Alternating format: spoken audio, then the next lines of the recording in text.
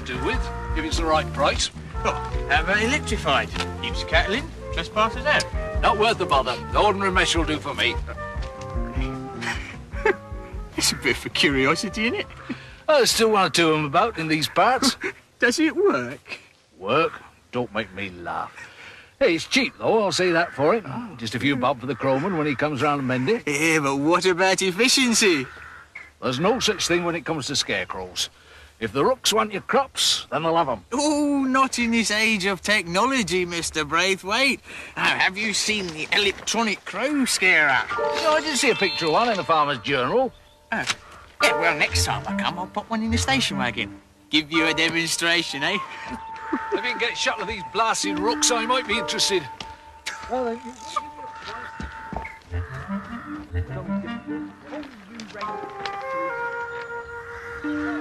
Shovels! All of it! You just wait to get that electric crow scarer. Then you'll know all about it. Another thing, what about me then? What about old Worzel? As bad enough as it is what with not getting no wages. It's gonna be even worse if it chucks me on the dustbin. Yeah, I'm talking to you! You stupid great bundles of feathers! Shoo! Yeah! All right. If you won't shoot, there's only one thing for it.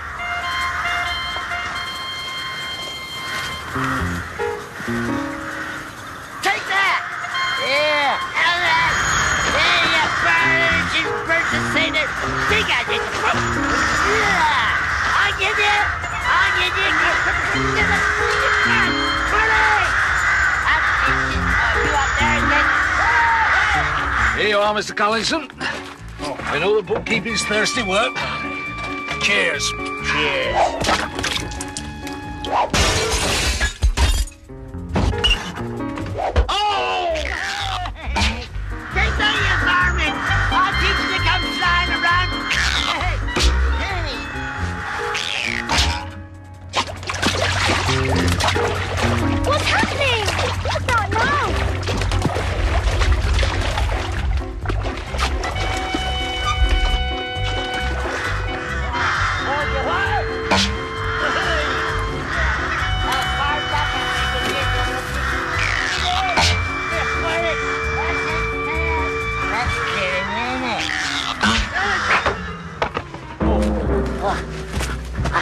Do beg your pardon, Your Honor. I didn't mean to do it, sir. No, I, didn't mean to do it. It was an accident. I was just practicing my new new way of potato planting, Your Worship, sir. I'll just go back back to my work, sir. Back it, up it, up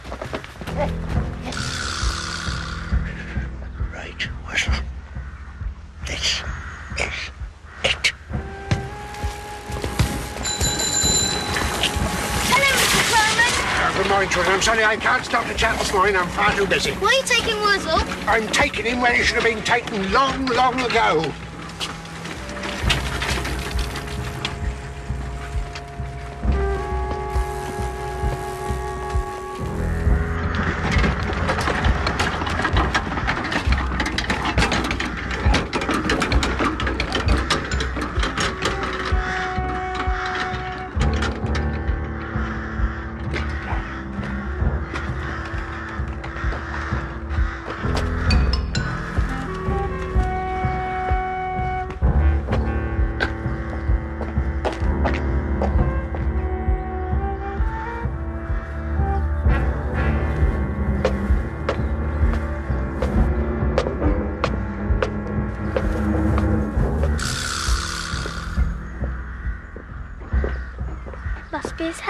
Tell me something I don't know. Look!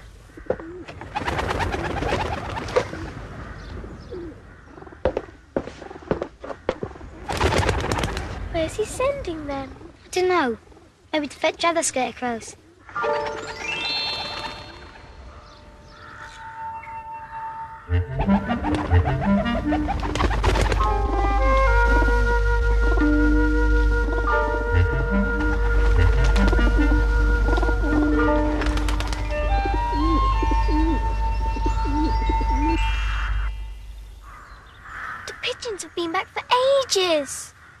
Think he was just giving them their exercise. You'll see.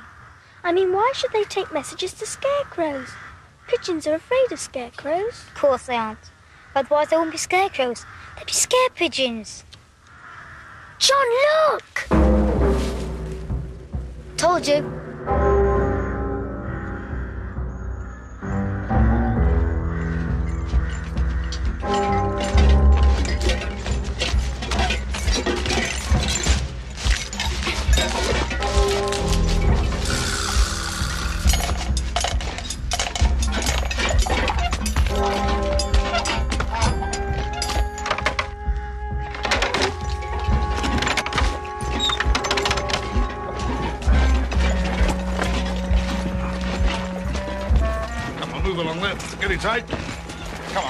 On out, quick as you can. What do you think they're going to do to Worzel? We won't find out sitting here. Come on, let's get a bit nearer. Wait! Aunt Sally!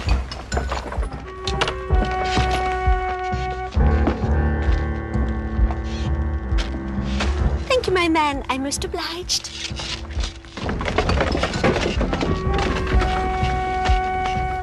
If mixed up in he really is in trouble. Yes. Come on.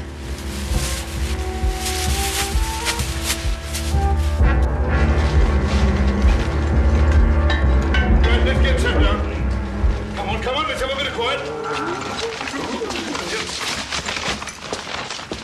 We have Be outstanding for his work. Sir! Are we all here, Sergeant Beetroot? Sir! Very well, bring in the prisoner.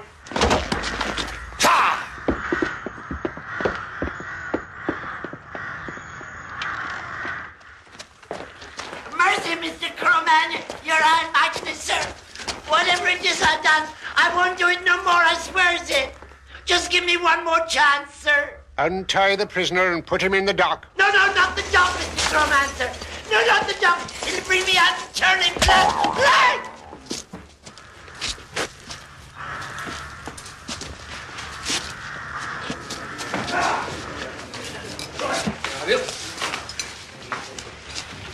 Hold on to your heads with your hands. Repeat after me. May this head. May this head. Fall into a pig squill bucket. Fall into a pig squill bucket. If I do not well and truly. If I do not well and truly. Try Worzel Edgerow Gummidge. Try Worzel Edgerow Gummidge. And find him guilty, amen. And find him guilty, amen. Right, get sat down. All present and correct, sir. Read the charge, Sergeant. With respect, sir, I can't read, sir. Oh, very well. I'll read it myself. Worzel Hedgerow Gummidge, you are charged with that on divers occasions you roam the countryside making trouble instead of carrying out your duties. That you abuse the gifts of speech and movement bestowed upon you.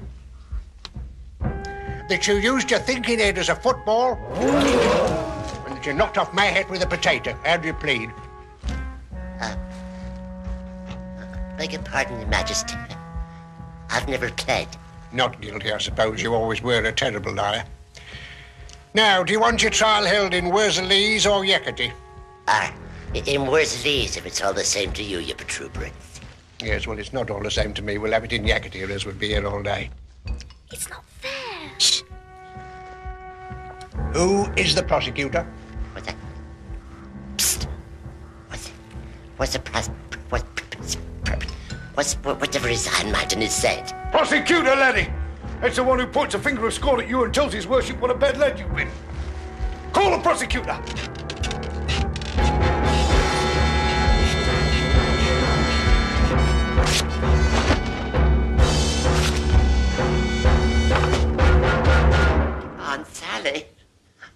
It ain't fair.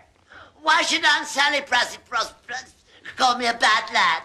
She's worse nor what I am. Oh, no, I haunt. Oh, yes, you is. Oh, no, I haunt. Oh, yes, you is. Haunt. Is. You heard what Aunt Sally said, laddie. She haunt. What's it got to do with you, beetroot face? Sergeant Beetroot Face, if you don't mind, Sonny Jim. And I'll tell you what it's got to do with me. Aunt Sally and I have a little understanding. You never. Oh, yes, we have. You've been so busy chucking potatoes about and causing mischief, you haven't been able to see what's been going on under your very carrot. Sergeant Beetroot, Beg pardon, sir. Got carried away, sir. Aunt Sally. Aunt Sally, tell me then, true, you, you ain't gonna marry that there rotten old beetroot, are you? He's only good for slicing up and pickling. I may marry him. I may not. We shall have to see. Aunt Sally isn't going to marry anybody, and if Aunt Sally doesn't get on with the case for the prosecution, Aunt Sally's going to find herself back in her trunk in Mr. Shepherd's attic. Yes, sir. Sorry, sir. Apologise, sir. At once, sir. Let the trial continue. And Worzel, uh, Yes, you're all powerful. be very careful what you say. If you're found guilty, you know what the sentence will be now, don't you? Uh, no, sir. Oh, yes, you do. Remember what happened to Tatty Bogle when he went to sleep in Farmer Thompson's best bed and refused to get up? He were dug into the compost heap, your effervescence. Exactly. It was terrible. Continue on, son. Worzel Edgerow Gummidge. Uh, yes, Aunt Sally. Don't call me Aunt Sally, you stupid thing. You call me Madam, and you call his worship your honour. Very sorry, Mother. Uh, beg pardon, uh, uh, your effervescence. Worzel Edgerow Gummidge. Is it a fact that you did once throw a fruit pie at Mrs. Bloomsbury Barton? No, I never. May I remind you that you have taken the Scarecrow's oath?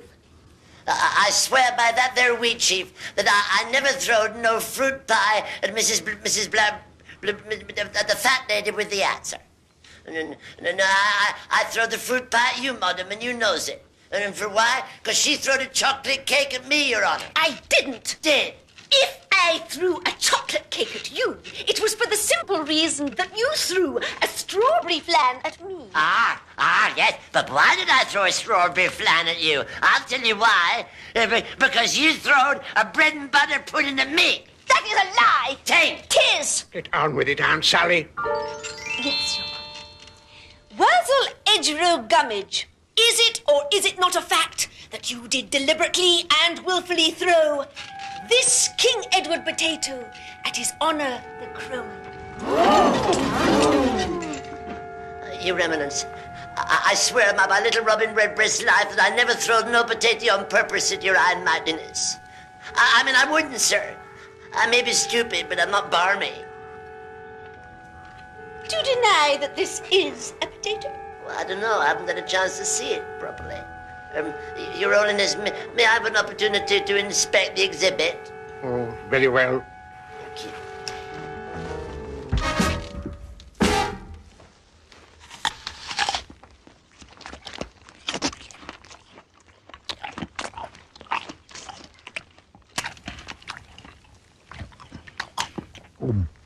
Ah, that's a potato, all right. If you did not throw the potato, how did it come into contact with his honour the crowman's at? You heard, and if you did, you should scrape the muck out your ears. Well, you, you get me all muddled in middle, madam. I mean, the potato was thrown by me, but I wasn't throwing it at His Majesty the Crowman. I was only trying to do my job, Your Honor. I I was throwing them their potatoes at them dang rooks. Worzel, you went to Scarecrow School, did you not? Oh, yeah, that I did, Your Honor, sir. Yes. Uh, that, that's where I uh, that's where I learned the one times table, Your Honor, sir. Yes. Uh, one and one is one, and, and, and another one is another one, and and, and, and, and I can't remember anymore, sir, because I haven't got my counting head on now. I'll go and fetch it. Stay where you are.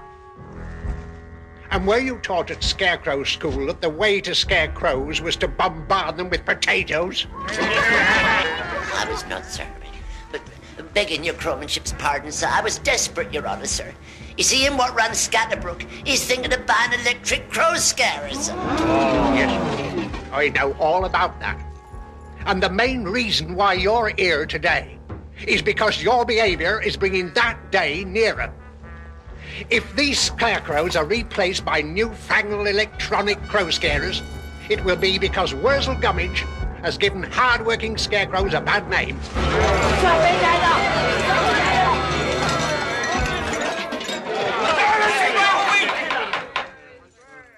I'm Sally, Do you wish to question any witnesses? If your honor pleases, call Aunt Sally. Call Aunt Sally! She's even more stupid than know what I am. How can you ask yourself questions, you stupid wooden-headed clothes prop? We shall see. I swear to tell the truth, some of the truth, most of the truth, so long as it suits me. Is my name Aunt Sally? Yes, it is. Am I going to tell the court what happened last Friday? Yes, I am. Last Friday, A was going along the High Street when who should stop me but a hulking, great, big, ugly, dirty scarecrow. Is that hulking, great, big, ugly, dirty scarecrow in court at the moment? Yes, he is. Can I point him out? Yes, I can. One moment, Aunt Sally. I think we have a visitor. What's that?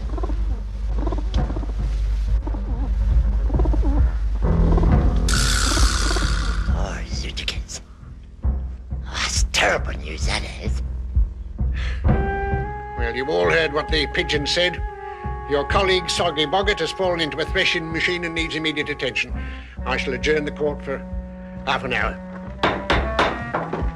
Be upstanding for his worship!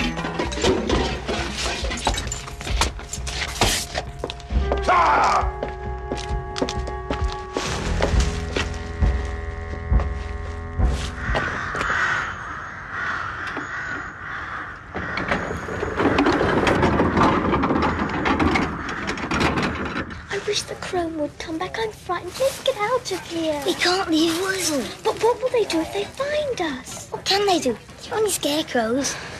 All right, all right, let's have you straightened up. You're not on your own with this. Come on.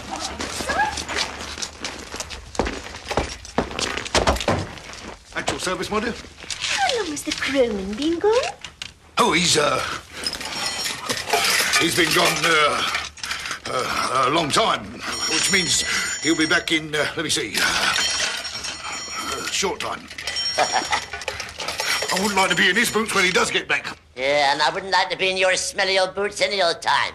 You rotten old beetroot. That's all you are, you know. A rotten old beetroot. Never heard of a beetroot being a scarecrow. As a matter of fact, it's all the rage at this present moment in time, isn't it, Aunt Sally? I don't know, I'm sure. I don't mix with scarecrows socially. Far too inferior. Ah, that's right, Aunt Sally. You tell him. It wasn't what you told me and Mr. Shepherd popped in shed when you said I was your hero. That's only because you got me out of that stupid old trunk. You didn't believe me, did you? All you scarecrows are the same. Stupid, ignorant, common, dirty.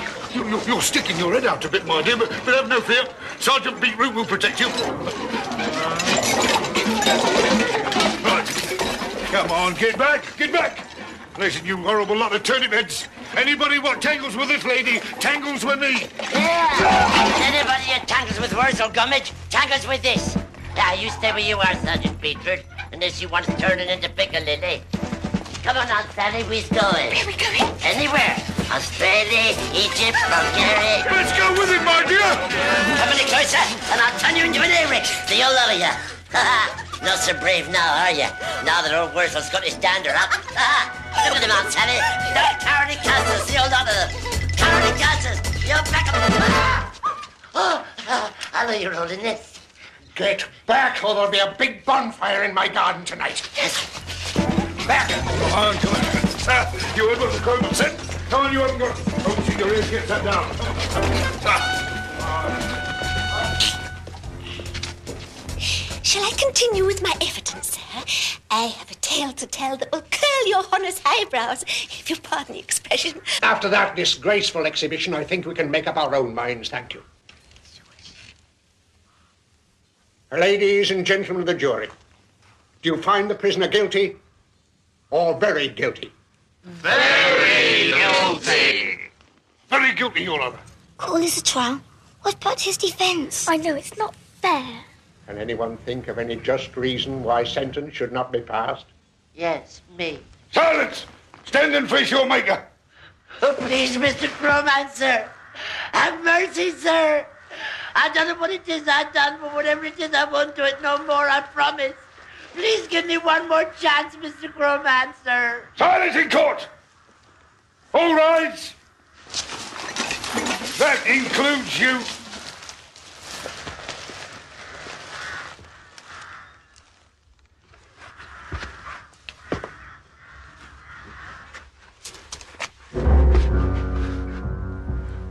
Worzel Edgerow Gummidge. And this is going to hurt me much more than it hurt you. You've been found very guilty. It is therefore the sentence of this scarecrow court that you be removed from this place and taken to a compost heap, where you will remain for a period of not exceeding 14 days. After which time, you will be dug into the. No! We can think of a just reason why a sentence shouldn't be passed. It's myself.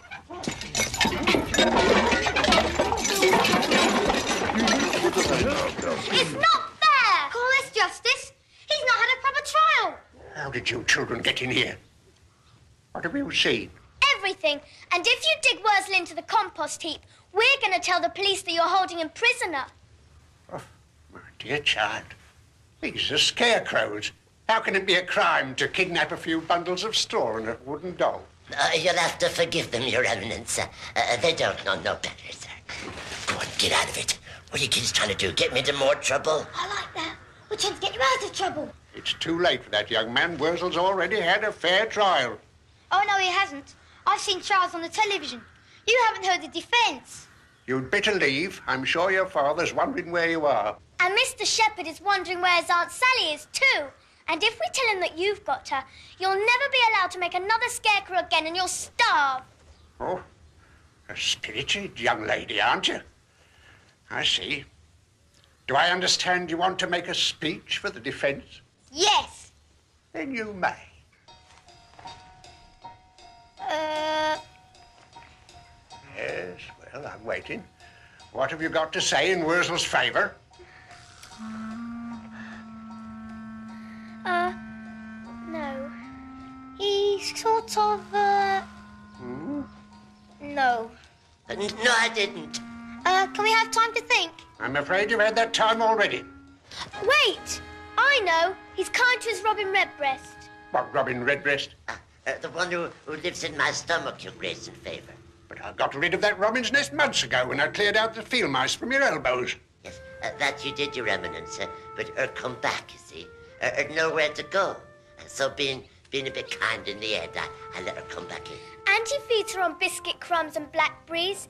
And every Sunday he gives her a whole bottle of milk. Uh, steals her old bottle of milk more like. Uh, uh, fine, said Your Worship. Uh, fine, said you. People leaves it hanging around on doorsteps. So if you throw Worzel onto the compost heap, what will his poor Robin Redbreast do? Fly away, of course. Uh, excuse me for interrupting your Iron Majesty, uh, but her, her can't fly away, you see. Her's nesting. Her's got little tweenies. Come and have a look, your worship. Come on, everybody, come and have a look.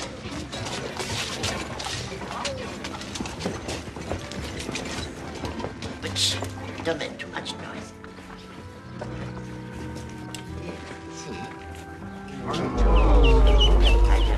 Come on, have a look. Yeah.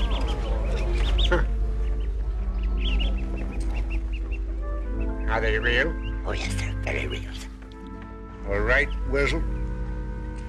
You've saved your neck. But if Mr. Braithwaite of Scatterbrook decides to put you in the dustbin because you're lazy, incompetent, and mischievous, don't expect me to help. That I won't, Your Eminence. Very well, Worzel. Case dismissed. Thank you very much, Your Eminence. Thank you very, very much. Thank you very, very, very, very much. Very much. Come on,